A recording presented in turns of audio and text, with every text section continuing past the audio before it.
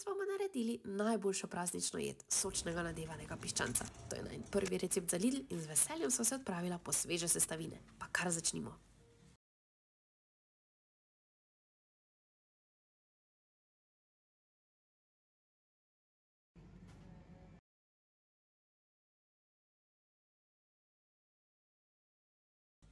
Najprej bomo potrebovali star kruh.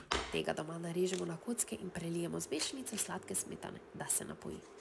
Da bo nadev še boljši, prepražimo panceto, čebulo in peteršilj. Mmm, kako diši. Dodamo kruhovi mešanici in dodamo jajci, ki vse skupaj povežeta. Izberemo svežega piščanca. Ta novi premium piščanec je slovenskega porekla in skladen z načinom reje prijazne do piščancev. Piščance radodarno nadevamo in zobotripci zapremo, da nadev ne bo uhajal. Z vrvico zavežemo še noge, da bo lepše oblike. Poljubno osušimo zunanjost piščanca z gorilnikom ali krpico, da bo koža bolj hrustljava.